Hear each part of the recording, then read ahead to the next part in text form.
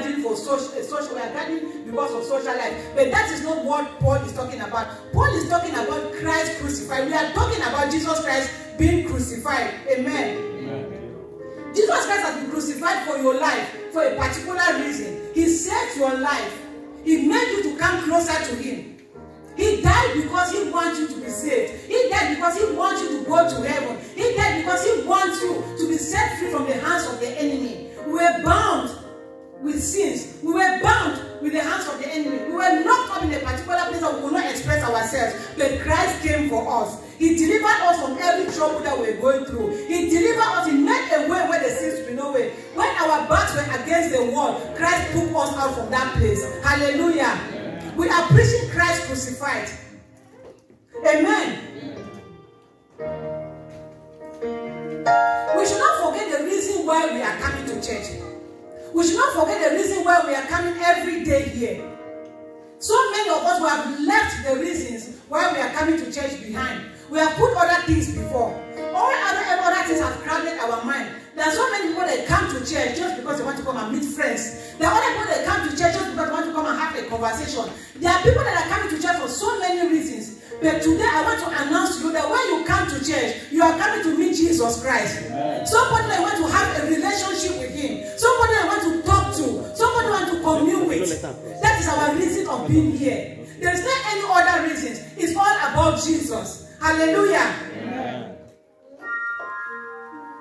Amen. We have lived too much in our flesh that we don't even hear the voice of God again. We have lived too much in our flesh that we don't even hear what God is talking to us. Paul said something that I've come to know him. I thought Paul was the one who have written one third of the New Testament. If he made a statement that I want to know him, he being crucified. I want to have fellowship with his death. I want to have fellowship with his suffering. Paul was the one who wrote that New Testament, which means that Paul was not sati- satisfied. If Paul could not be satisfied with him knowing Jesus Christ, what about me and you? What about me and you? We take pleasure in so many things, but we don't take pleasure in being in the presence of God. We don't take pleasure in serving the Lord. We don't take pleasure in having relationship with Him. Hallelujah. Today, whatever I am today or whatever you are today, it is all about Jesus. If you know that you have received Jesus Christ as your Lord and personal Savior, the Holy Spirit will speak into your heart. The Holy Spirit will convict you that you cannot stay without having a relationship with Him. You cannot stay without communing with Him. And how do you commune with your God? How do you have a relationship with your God? How do you have it? I don't know whether you have ever sat and thought about yourself without you staying, without praying for a particular hour, without fellowshipping with your brothers and sisters in the Lord, without worshiping the Lord, without serving Him. How do you? It is difficult, I've said it over and over. It is difficult for you to communicate with somebody when you don't have a relationship with the person. It is difficult. You must come closer to that person. You must know that person very well. And that person will not ever give you ear if you don't have a relationship with him or her. Hallelujah.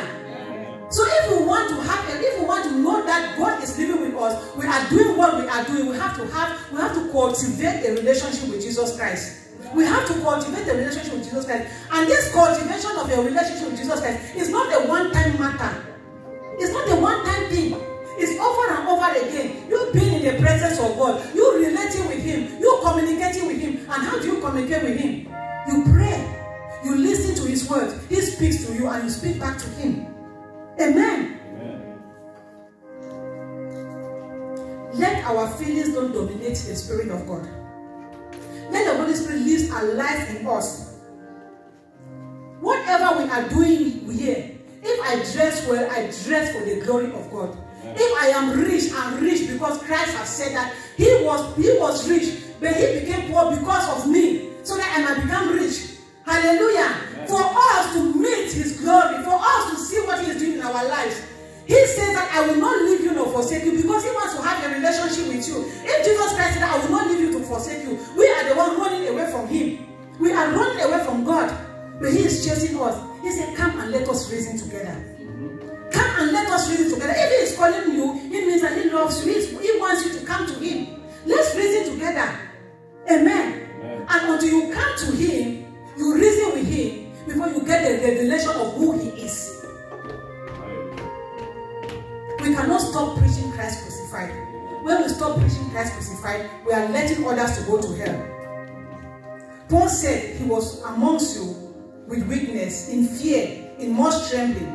Though in weakness, though in fear and in trembling, he still preached Jesus Christ. Some of us might be sitting here. I'm afraid to do it. I cannot do it. I am afraid.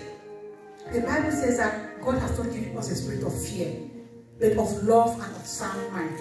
All of us we can do, but the Bible says that we can do all things through Christ who strengthens us. And if we can do it, how do we do it? We start somewhere. We start somewhere. If we fear, we back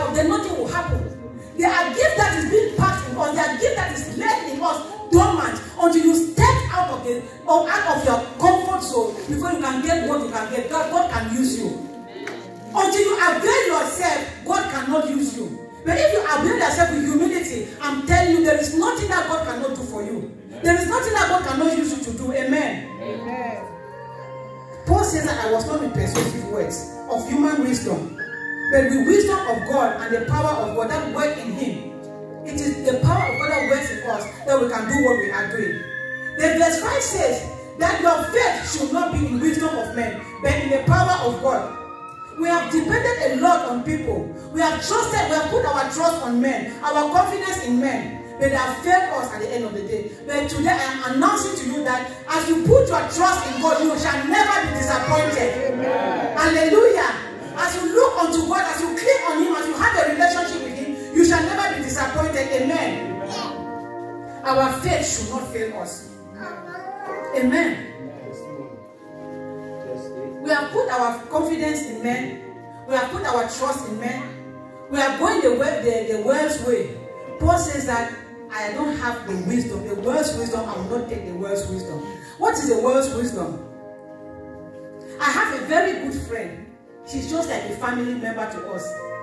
The world wisdom tells us that we should go to places that it entices us. We should do what the things the world is doing. We should compare ourselves with one another. That is the world's wisdom is telling us. This friend of mine, she is very generous, very nice, very good. She can give, she can bend her body for you. She talks Christ, she talks Jesus Christ very well. But can you imagine? This girl has money. She has, she can go and borrow money to go to Dubai to go and spend. With all everybody that she wants to pay, drinking everything that she wants to drink, and she was also inviting me. If it happened that I was still living in the flesh, I stepped my feet inside, the whole world would have seen me today. That is the world wisdom. But because I stepped my, my feet outside of it, maybe they will not look me as somebody. But I am going somewhere. If I have Christ in me, I have to have a relationship with Him. I will not walk the world's way. Hallelujah. I will not walk the world's way. They send those people that they are calling to do what they are doing. They send those people, the day you want to preach Christ to them, those people will quote you. Are you I thought you are a child of God. I thought you are a born again. The world wisdom. Paul says that I'm not preaching, I'm not preaching the world wisdom. I'm preaching Christ. Christ crucified. And if Christ is crucified in you, you know that Christ died for you. You come out of the world's wisdom. Amen. You walk the world, you walk the world's way. Hallelujah. Family. It is high time for all of us, if you know you are born again, if you know you have given your life to Jesus Christ, it's high time for you to fix your eyes on Jesus. It's high time for you to communicate with Him. It's high time for you to have a relationship with Him. Hallelujah. There is no two way. The world will not be the same as it was. It will not be. A, every day we are hearing new story. Every day we are hearing new story. It was first vaccine two times, but now we are hearing that you have to take the third vaccine. Where is the world going to? Are you talking about your self? If it happened that we all slept, one day they say that coronavirus, everything stopped. If it happened that Jesus Christ came that day, where are you going to be? Where are you going to find yourself? No relationship with Him. Nothing. Let us sit and down and ask ourselves questions. It's not what we, we, we have to feel about. It's not what we are going to have. But where are we going to be at the end of the day? when he comes today, are you going to be, are you going to be prepared to meet him? Are you going to stand and answer? Are you? Let's ask ourselves. Let's preach Christ crucified. Amen. Amen. We have to show our life as Christians. We have to make a difference. We have to differentiate ourselves with them. Let Let Christ be the center of our lives.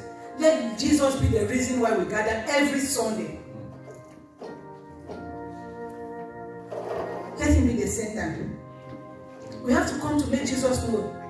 I said that it is not a coincidence that we gather together. It's not a coincidence I met Jeremiah, I met Henry and the family. It's not a coincidence that we met ourselves together. But Christ had a purpose for us to come together. And if we miss that purpose, we have missed it all. All of us, we have missed it if we missed it. If we don't do what He has called us to do, we have missed it. And we are going to find ourselves to answer those questions. We have to preach Christ crucified. All other things, when we preach Christ crucified, all other things will take their place. Let us determine that we have to save Christ. Let us determine that we want to grow in our spiritual life. Let us take a giant step for us to move forward in our spiritual life. Paul was determined to see Christ crucified, to preach Christ crucified and Christ alone. Daniel was determined not to eat the king's food in the king's palace. Even though death was promising, he determined that I will not bow before their gods. I will not eat their food. They promised him death, but he did not give up. Let us determine. It is all about you. It's all about for your good. The Bible says that life and death lies in your, your power. God has said that He is going to ask us at the day, at the end of the day, when you come before His presence, all the life that He gave to you, what did you do with it? And you are going to answer. Is Christ the center in everything that you do? Is Christ the center in your life? Paul said, I may know Him. I thought he knew, he knew God. I thought he knew Christ, but he did not know Him. He wanted to know more. Knowing Him or having a relationship with Him is not a one-time experience, as I said. It's not us just coming to church and going back. Knowing Him should be a deliberate action. We should focus on what we are doing. Making us to know that He died for our sins. He died to pay that price for me and you. He died to set us free. He died to liberate you from every suffering that you are going through. He died to take you out from the hands of the enemy. We have to know Him. Wanting to know Him, will give you a revelation power. Having the revelation power, will cause you to have a relationship with Him. And having a relationship with Him will bring you to that place that He wants you to be. It's not about our English. It's not about our, our all knowing. It's about our availability. And if you avail yourself to Him, as empty you are, He is going to fill you. He is going to fill you. He cannot leave you like that. He's going to fill you. There are when we are too full of ourselves. Pride has taken us. Pride. Pride has caused some of us to have missed the mark. So many people have died because of pride, and they died without knowing Jesus Christ. Let us leave pride down. The Bible says that if we humble ourselves before Him, He is going to lift us up. Let humility be the reason also that we are serving the Lord Jesus Christ. And as you serve Him, He is going to make a way for you. I see somebody in this particular place. The person is saying that I missed it one time. I missed it. Maybe this is an opportunity for you to turn back again. If you are here, you have never confessed Jesus Christ as your Lord and personal Savior. There are so many people in the church that they are in the church every now and then, but they have never ever made that decision that they want to follow Christ all their lives. Today is that day. Jesus Christ is the center of our gathering. He is all, it is all about Him. If you have never ever made that decision, please don't leave this place without giving your life to Christ. Don't leave this place. It's all about Jesus Christ. The world will never be the same again. It will never be the same again. Let us not be caught into the trap. If you have never ever made that decision, that Christ come and be the center of my life, I want to give you that opportunity. Every head bow, believers praying in the spirit.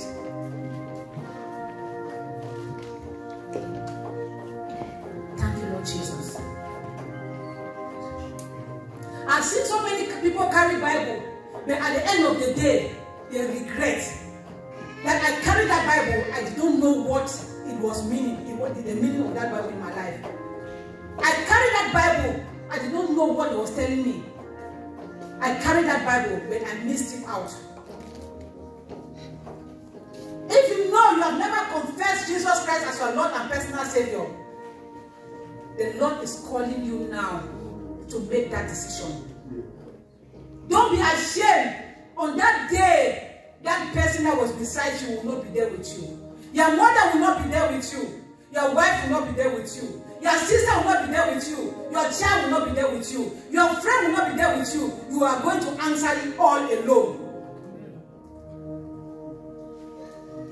If you want to make that decision.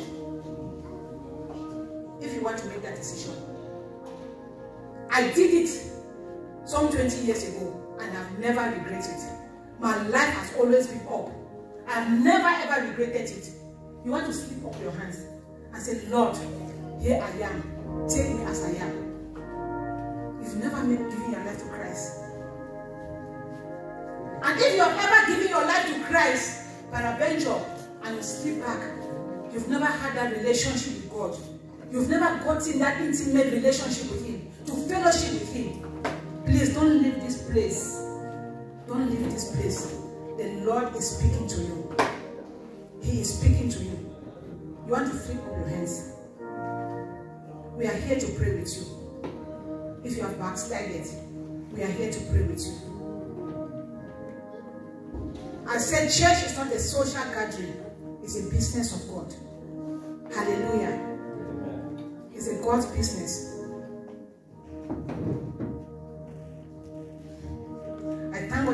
That here and every head is being bowed down that they are born again. Father, I thank you. Lord, we just want to thank you for this particular moment in your presence, oh Lord. You that searches a heart deeper than any other thing. We have not come here because of any other thing, but because of you. Let you be the center of everything that we do. Let you be the center of every life in this house, oh Lord. Father, we pray and we pray that you breathe your spirit upon them. You breathe upon them, oh Lord God. As they go back to their houses, you breathe upon them. Anything that they touch, you breathe upon them, oh Lord. In every areas of their life, Father, breathe upon them. Father, manifest yourself upon the lives of your children. In the mighty name of our Lord Jesus Christ. Lord, we give you praise. Father, we give you all the honor. Father, we give you all the adoration. In Jesus' name. Amen. Amen. Let's put our hands together.